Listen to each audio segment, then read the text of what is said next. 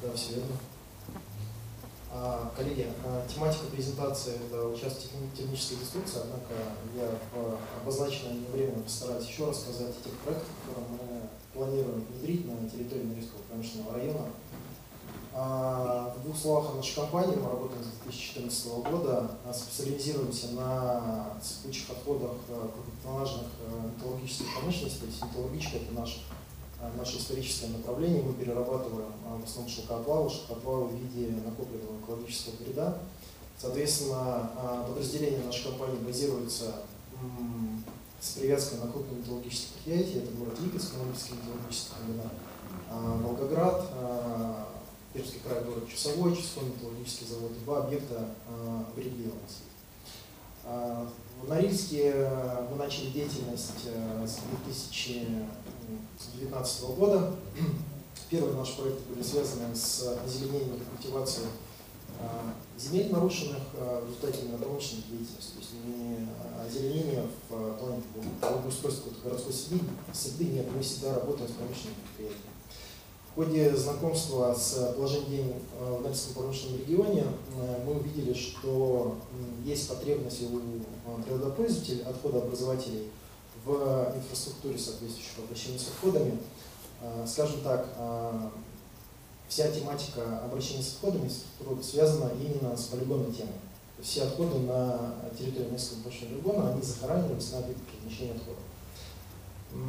Соответственно, как вы знаете, экологическое законодательство у нас претерпевает а, изменения, особенно интенсивно начался, начался процесс с 2014 года известное распоряжение правительства 1589 э, которое обозначило перечень отходов, э, запрещенных к захоронению.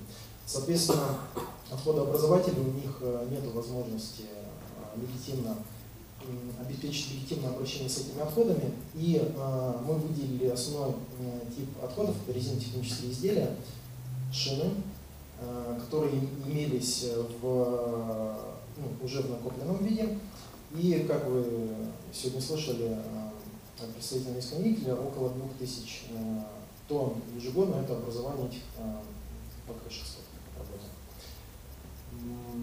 С прошлого года мы начали вводить в эксплуатацию наш участок низкотемпературного пиролиза. Мы выбрали две технологии.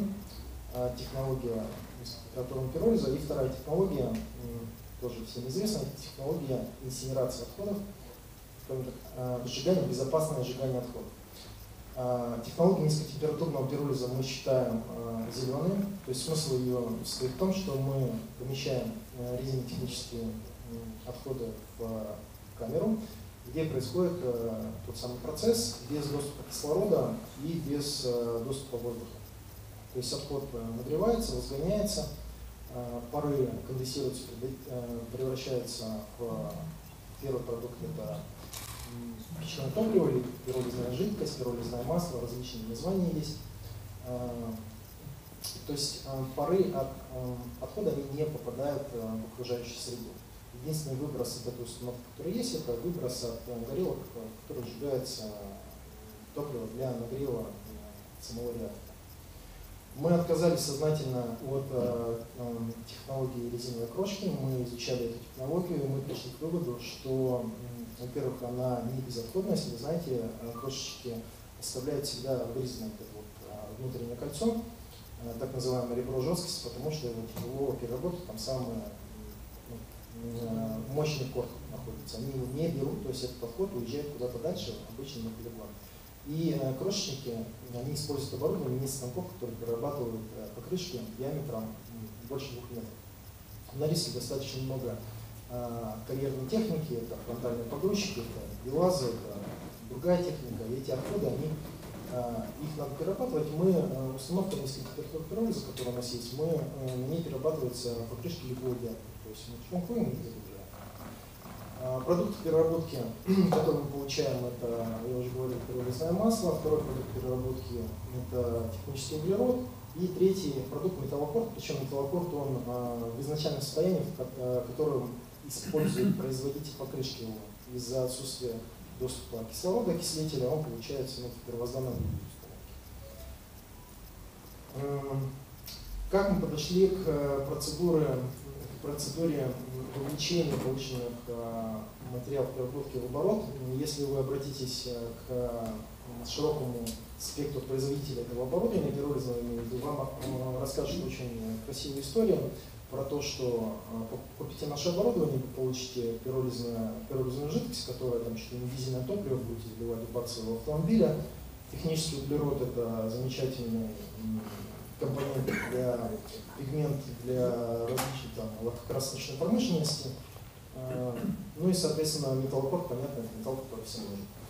А, Все не так радужно. А, пиролизная жидкость э, для доведения ее до кондиции дизельного топлива требует дополнительной обработки, реагентов. То есть это, ну, скажем так, достаточно еще одна сложная технологическая задача. А, технический углерод, он тоже не подходит э, потребителям, про которых э, вот я раньше говорил, да, там, в качестве пигмента. Так как мы являемся переработчиком, который связан, связан с металлургией и знаем их э, технологические процессы, мы подошли к реализации технического углерода, посмотрели на него в качестве восстановителя. То есть вы знаете, что в литейной промышленности используется так называемый коксовый орешек, который восстанавливает оксид металла а, до там, неокисленной формы, до металлической. И, соответственно, то есть вот у нас получается три продукта. Технический углерод мы брикетируем и выпускаем а, в оборот, передаем, планет передает металлургам в качестве восстановителя. Пиролизное масло у нас используется как топливо для следующих технологий, технологий инсинерации. Также хотел, я понимаю, что время заканчивается, коротко еще раз, потому что тематику мы сегодня слышали, это переработка металлургических отходов мы используем технологию э, интеллектуальной, интеллектуальной утилизации, технология э, электронно-кусковой сепарации. Этот, э, это оборудование предназначено для утилизации шлаков цветной металлургии, то есть мы выделяем металлоконцентраты, это оборудование позволяет выделять металлоконцентраты, отсеивать из шлака, да, те кусочки, в которых содержится определенный металл. Технология универсальная, она позволяет выделить э, металлоконцентрат меди, металлоконцентрат никеля, платины, палладия, титана, все что угодно. А, в этом году мы провели э, э, два опытно-промышленных испытания на материалах, которые в больших количествах накоплены на Норильском промышленном музее. А, по результатам мы получили металлоконцентрат около 200 кг с тонны, то есть подняли концентрацию, выделили концентрат, обогатили до 6 раз. Таким образом, а, мы планируем применять технологию ликвидации отвалов, которые есть на территории Норильского промышленного региона. А, и, соответственно, смысл а, этой технологии заключается в следующем, то есть это утилизация. Мы из отходов получаем металлоконцентрат, который направляется в повторное производство, минуя там длительные процессы обогащения, флотации. И второй материал это шлаковый щебень, материал не новый, то есть есть просто на 86 года. А, и, соответственно, этот материал мы планируем а, передавать да, заказчику, либо самостоятельно взять в качестве щебня, пригодного для различных там, а, дорожного строительства, то есть не, не на каждую дорогу, конечно, шлаковый щебень, есть определенные там, ограничения, но тем не менее. Либо для э, засыпки, там, отсыпки территории, про то, то что сегодня э, Юрий Алексеевич говорил, там, засыпать там, неровности или территория, которая подлежит Э, благоустройству. В конце хотел бы описать те проблемы, как мы видим, с которыми мы сталкиваемся, столкнулись как переработчики, промышленные переработчики в Норильском промышленном регионе, эм, связанные, там, они характерны для материковой части и, э, в частности, вот, э, условия, в которых находится географический Норильск. Первое – это законодательные неопределенности. Законодательные неопределенности, связанные с различными процедурами, процедуры лицензирования по обращению с отходами, выдачи а, санитарно-эпидемиологических заключений. Из этого следует вторая сложность, с которой мы столкнулись как бизнес. Да? Нам необходимо, а, к примеру, взять соответствующий участок в аренду, взять здание в аренду, либо построить его, завести оборудование, сделать пусконаладку, только после этого может быть получ, э, начата процедура оформления нашего участка. Соответственно, срок, э, когда мы вводим фактически участок в эксплуатацию, мы не можем начать на нем работать, Это примерно год. То есть мы как бизнес должны вложить деньги заморозить их примерно на год.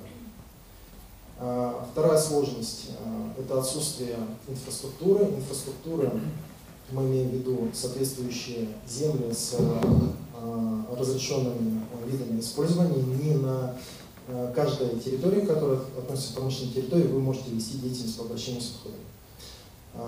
И отсутствие инфраструктуры именно зданий капитальных строений. То есть технологии, с которыми можно работать например, под открытым небом, но с учетом экстремальных климатических условий нам в любом случае необходимо капитальное строение. И последняя проблема – это портовая инфраструктура. Если мы говорим, к примеру, про ломозаготовку, про организацию потоков низколиквидных э, металлов, Э, которые, на которых мы специализируемся как ломозаготовители, мы не классические ломозаготовители, то есть мы выпускаем низколиквидный металлооборот. Необходимо наладить э, логистические э, потоки. А, Александр, у нас просто будет следующий еще блок, где мы будем как раз эти все рекомендации собирать вместе, поэтому я тогда предлагаю ваше выступление на, в этой части, да, при, ну, как бы ограничить, а потом мы, мы продолжим и соберем все эти потребности, на самом деле мы отработаем это отдельно. Спасибо за, за выступление. Спасибо. Э, скажите, у нас э, в онлайн присутствуют коллеги из Новоспасского моста? Были. Да. А можно, можно вывести картинку, вот как раз продолжение переработки отходов, шлакоотвалов, да, как, как, э, какие варианты предлагаете вы? Ага, секундочку. Дальше. Леля. Хорошо, не надолго. Так, ну что, у нас, у нас есть презентация. Да. Давайте послушаем, потому что мне кажется, очень интересные тоже есть идеи у коллег. Да, для начала хотелось бы поприветствовать всех присутствующих, поблагодарить за возможность выступить на столь важном мероприятии. А, меня зовут э, Хацаев Олег, Э, по той причине, что наш основной докладчик сейчас где-то в воздухе между Норильском и Москвой, я вас ознакомлю с проектом «Кристалл» по производству строительных материалов путем безотходной переработки отходов горного обогащения. Э, с данной проблемой сталкиваются все страны с развитой горнодобывающей промышленностью, даже на территории РФ сконцентрировано более 100 миллиардов тонн отходов в результате деятельности более 70 горнодобывающих предприятий. А, и эта площадь, занятая отходами, порядка 2 миллионов гектар. Загрязнение воздуха, почвы, грунтовых вод делают эту проблему очень серьезной. А, что из себя представляют отходы обогащения? Это в основном силикатная горная порода, которая была перетерта в пыль с целью изучения металла. А, Ее пылевидное состояние как раз таки делает э, эти отходы э, такой большой проблемой, потому что пыль разносится ветром, проникает в почву и в грунтовые воды. Мы можем вернуть данную пыль в состояние горной породы путем имитации одного из процессов образования горных пород, а именно магматического процесса. А для этого мы вовлекаем хвосты обогащения в петрургический процесс. Петрургия – это аналог металлургии, где роль сырья играет камень. А подобные технологии э, были использованы в том числе с использованием отходов свинцово-цинкового обогащения. Мы на нескольких видах отходов использовали данную технологию. Э, в мире существуют предприятия, которые занимаются плавкой камня, однако практически все получают вулканическое стекло, которое не поддается обработке. Э, мы же смогли получить э, аналоги горных пород с высокими декоративными и эксплуатационными характеристиками. Наши образцы поддаются обработке на типовом оборудовании, и кроме того в них отсутствуют микротрещины. Э, эти микротрещины образуются в результате горного давления и температурных факторов на протяжении длительного времени, когда воздействие идет. А наш продукт новый, на него такие действия не оказывались, и поэтому микротрещины в нем отсутствуют, что кратно увеличивает срок его службы в любых эксплуатационных условиях. А, Далее вот на этом слайде показаны этапы переработки. Это подготовка шип, шифты плавки, сама непосредственно плавка и кристаллизация. А После кристаллизации идет дальнейшее производство готовых изделий из полученных блоков нужной породы. А, Что касается инновационности, она заключается в, непосредственно в процессе кристаллизации расплава. Процесс проходит в несколько этапов с соблюдением необходимых параметров. К сожалению, на данный момент я не могу раскрыть вам всех подробностей кристаллизации, но думаю, э, с организацией выпуска нового патента это станет известно. Э, От соблюдения данных параметров и состава шахты зависит то, какой именно материал в конечном итоге мы можем получить. Э, Здесь представлены образцы таких э, материалов, как андезит, яшма, диабаз, которые были изготовлены на лабораторной установке объемом 0,1 кубометр. Это порядка 200 килограмм. Кроме того, было найдено решение проблемы, которая часто становится камнем преткновения вопросов переработки. Это те металлы, которые содержатся в постах обогащения. Мы можем отделять их уже на стадии плавки. Идентифицировать искусственное происхождение образцов без специальных исследований крайне сложно. А, Как я уже сказал, отличием является э, отсутствие микротрещин. Кроме того, мы можем контролировать физические и декоративные параметры материала, что дает нам возможность изготавливать конкретные изделия под определенные цели. А а также стоимость. Стоимость нашего продукта в разы ниже, чем у природного аналога. А, Здесь э, вы можете видеть два образца. Один из образцов идентичен природному граниту, а второй, а второй образец, секундочку еще раз. Второй материал можно использовать в местах с максимально интенсивным воздействием, таких как полы ступени парадных входов, где даже гранит, сейчас я включу вам, да, где даже гранит со временем подвергается истиранию. Вот это первый, он без труда режет стекло. А секундочку.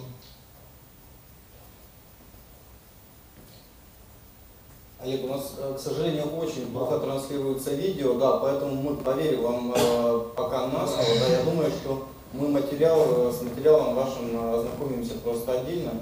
Прошу продолжить, у нас, да, очень Далее, вот на этом слайде вы видите марковские цены корейской гранитной компании. Как вы можете обратить внимание, цена кратно растет с увеличением размера изделия. Э, Также помимо натурального вулкана здесь представлен кварцевый агломерат. Его свойства в разы хуже, чем у горных пород, но при этом стоимость в 4 раза превышает наше предложение. Э, Также в этой ценовой категории наш продукт э, также будет конкурировать с премиальным сегментом керамогранита, стоимость которого доходит до 10 тысяч рублей за квадратный метр. А Сейчас нас в разработке линия мощностью 1 кубометр в час. Э, Планируемые затраты на нее порядка 300 миллионов рублей, а планируемые экономические показатели вы можете видеть э, справа в таблице. А После отработки технологий на стандартном оборудовании мы планируем внедрить эту технологию в качестве заключительного этапа процесса обогащения на одной из действующих фабрик. А Подобное решение должно полностью решить проблему накопления отходов, так как с фабрики уже будет выходить не отход, а готовая продукция. Это могут быть и блоки, и плиты, и все что угодно, все, что делается из природного камня. А Социально, программа социально-экономического развития Норильска подразумевает а, масштабные проекты с большим объемом строительства. В условиях Норильска, помимо экономической проблемы, экологической проблемы отходов, а, также существует и проблема сложной и дорогостоящей логистики. Э, Стоимость закупаемых материалов на материке существенно увеличивается в ходе транспортировки. Э, Несколько строительных компаний на правительства уже проявили заинтересованность в нашей продукции в связи с, с этим дефицитом строительных материалов в регионе. А, ну, в подобной ситуации проект «Кристалл» позволяет одним выстрелом убить двух зайцев. Это решить и проблему экологии, и организовать рентабельное производство высококачественных строительно-отсрочных материалов на своей территории. А, за текущий год мы подготовим сертификацию продукта и необходимую техническую документацию для начала проектирования. После чего последует подготовка производственной площадки, пусконаладочной работы и запуск производственной линии. А, выход на проектную мощность мы планируем в течение трех месяцев после запуска, а окупаемость проекта займет от одного до трех лет, что зависит от формы финансирования. За это время мы подготовим как раз вот второй этап масштабирования, который планируем на 26 год. Я имею в виду а, внедрение на действующей фабрике. А, вот это наша команда.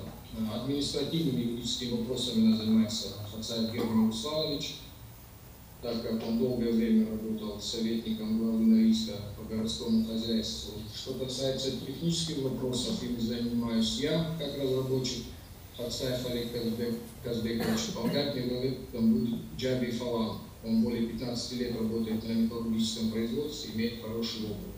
Руководит нашей деятельностью Глушков Анатолий Викторович, доктор биологических наук Института имени Ломоносова. Спасибо большое, коллеги.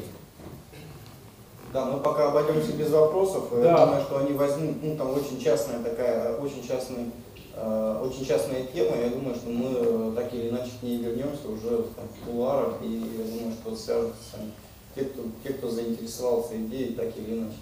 Я предлагаю двигаться дальше, мы, э, мы здорово убиваемся из графика, но просто невозможно ну, как бы, прерывать, скажем так, коллег, потому что тематика на самом деле намного глубже, чем ну, там, даже ожидала я лично.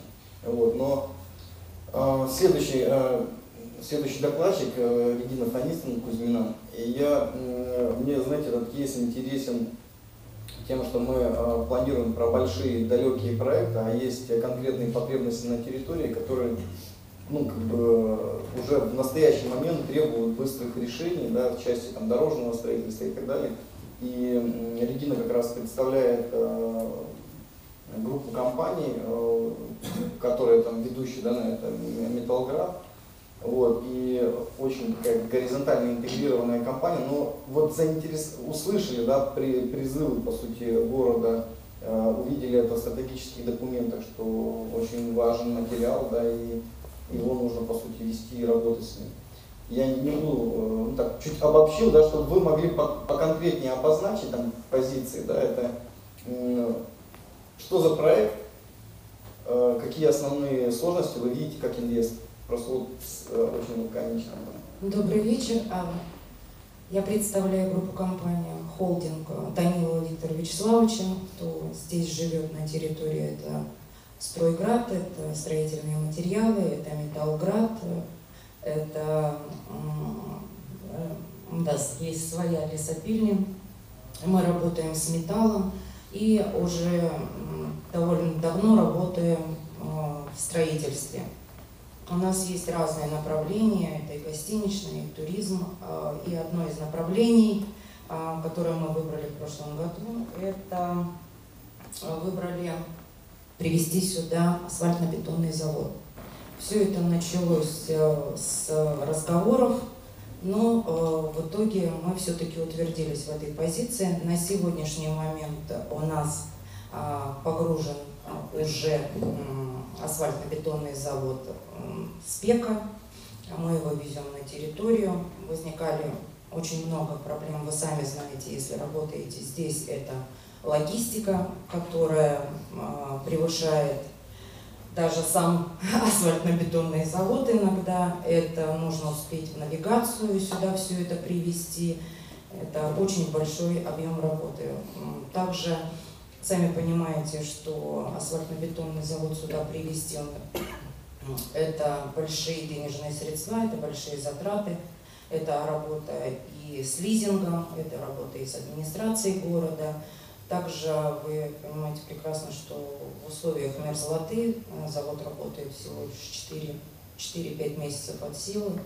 Поэтому были сложности свои, но на сегодняшний момент, так скажем, 75% э, трудностей мы уже прошли. У нас есть очень хорошая команда, которая сюда едет вместе с заводом. А, если вы на территории Норильска работали э, в 2005-2000 году, вы знаете, э, было такое предприятие «Байкал-2000», руководитель у него был э, Сергей Николаевич Хороших, а он сейчас в нашей команде. Поэтому как бы много времени я не займу, цифр у меня никаких с собой нет, есть реальные результаты, мы готовы сотрудничать э, с людьми. Ну вот такие, такая вот у нас идейная была команда, которая реализовала потребности города, зная о том, что в 2023 году а, будет реновация города, асфальт городу нужен, мы сами все это прекрасно понимаем, поэтому реализовали такой проект. Думаю, что он в июле месяце уже будет реализован на территории Норильска. А, было, предло... Э, было, конечно, титанический труд, потому что вы сами знаете, это и земля, и геодезия, и геология. Земля у нас болотистая, это выезды, это... Ну, слава богу, вы сами знаете, что в Норильске люди идейные, есть люди, которые нас поддержали, это и администрация города, это наш любимый АРН, который а, пригласил нас, спасибо вам большое. А, долго задерживать вас не буду, но вроде все. Спасибо. Хотели идею, воплотили ее, реализовали. Спасибо. Спасибо. Да, я немного еще дополню. Действительно, мы включаемся в инициативные проекты, когда видим, что они дозревают до определенной фазы, мы с этого момента предлагаем э, коллегам тоже включиться в различные программы поддержки предпринимателей, да,